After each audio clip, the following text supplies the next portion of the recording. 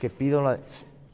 No está acreditado... No, no, no no, perdón, no está acreditado que Begoña Gómez, sin ser licenciada, obtiene una cátedra extraordinaria en la Complutense. No está acreditado que Begoña Gómez ha ido obteniendo fondos de empresas que están bajo la supervisión y la regulación de su marido. No está acreditado que Begoña Gómez se reunió con el presidente de Indra, que no es algo habitual, para que le hiciera un software gratuito. No está acreditado que Begoña Gómez ha registrado el software a su nombre y, por tanto, se está lucrando de ese software que era para la cátedra extraordinaria de la Complutense. O no está acreditado que Begoña Gómez está promocionando esa cátedra entre diversas empresas.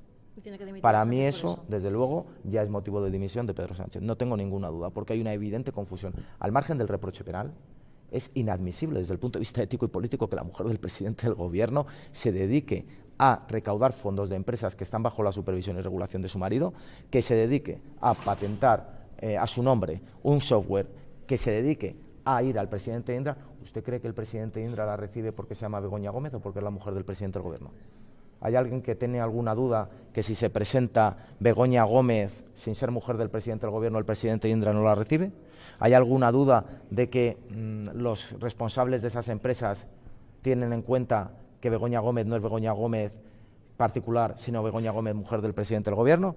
¿Y alguien piensa que el presidente del gobierno no sabía lo que estaba haciendo Begoña Gómez? A mí me cuesta pensarlo, la verdad. Y por tanto creo que el presidente del gobierno, al margen del reproche penal, es éticamente inaceptable porque todo está acreditado. Porque no olvidemos una cosa, no lo han negado. No han negado ni una sola de las afirmaciones que yo acabo de hacer. Porque no pueden negarlas, porque son ciertas. Porque para desmontar toda esta teoría de los bulos, sería muy sencillo que Pedro Sánchez o Begoña Gómez salieran y dijeran, no me reuní con empresarios, no pedí fondos a empresas, no registré el software a mi nombre, no he obtenido lucro alguno como consecuencia del registro de ese software y no me reuní con el presidente de Indra, que es una empresa que está participada por el Estado y que es el Estado el que coloca al presidente. Con decir eso se acabó.